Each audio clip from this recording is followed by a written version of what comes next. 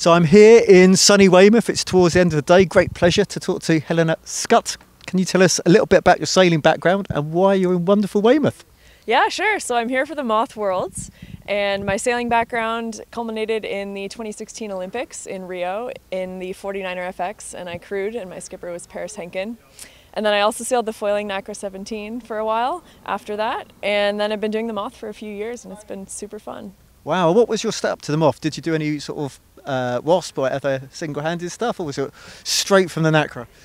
long time ago lasers like learned to sail stuff but it was basically straight from the nacra yeah and i think having the first quad of the fx and then the first quad of the foiling nacra 17 that was a lot of understanding equipment and you know developing the techniques and and all the settings and stuff and so i think that uh, ties nicely into the moth and being a development class. Yeah, I mean the design element is a really big thing. What about um, the the NACRA and the FX? They they've had a few changes during the Olympic cycle and they're still going. I see the uh, the Niners they now have black sails like you guys.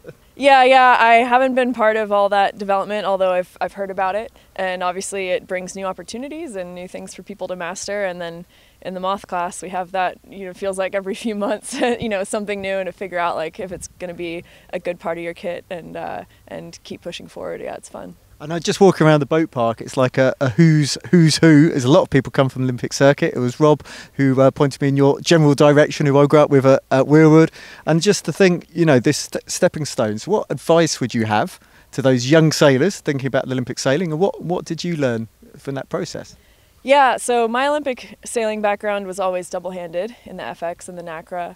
And so my main takeaway from those years of campaigning was that your job is to bring out the best in your partner.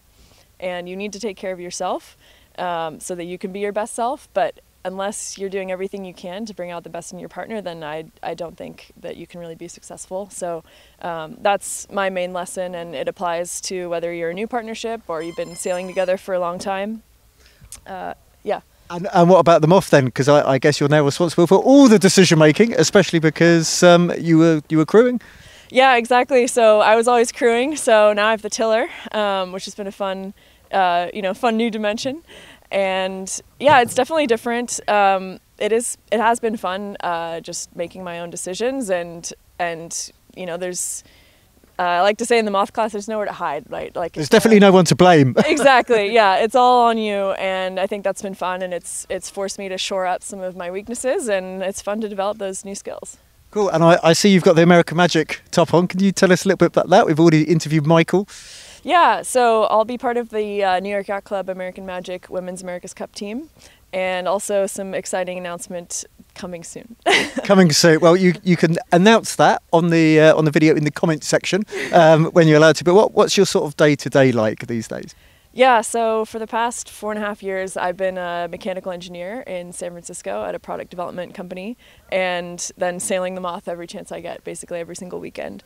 And it's been a lot, but it's been super fun, and I wouldn't have it any other way. We have a really great training group of Moths on the West Coast out in California. Right and so we've all pushed each other and I've learned a lot from the group and it's just been it's just been really good fun. Well, you're obviously a very busy lady. Um, it does make you really keen to, uh, keep the cover off whenever you get the opportunity, I guess. Um, but that design element is is it sort of a never-ending return? It's obviously something you really enjoy, and it's interesting that before there were so many full-time sailors, there was a lot of engineers. Yeah, I think the engineering background definitely helps. It's not absolutely vital or anything, but I'm always wanting to understand why something is good or not. And I think that that is the most interesting part to me, at least. And I think it's also fun in the moth. Uh, first, your technique is holding you back, and then you realize it's your equipment, and just kind of like leapfrogging between those two and figuring out and your technique evolves as you get new kit and stuff. So uh, I really think that's an interesting learning process, and I always think keeps it fun. It's it's Johnny and his hills. So you get to one Paul for peak, and then you, you suddenly realise there's another peak after that, and another peak, and sometimes you have to do the the go down. Now I'm going to ask you the most difficult question, and nobody's answering me, but. Runners and riders for this week. You, you've been out for a few days. There must be somebody who's looking particularly quick.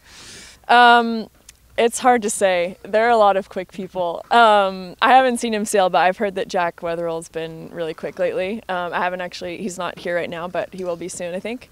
Um, so He only he only lives on Portland, so he can't be that far away. yeah, I think he's in Palma. Um, but that's the name that I keep hearing. But I think there's a lot of great contenders, and it'll be a really cool week of racing. Brilliant. Well, thanks so much for your time, and we will follow you with great interest. Thank you so much. Thank you. My pleasure.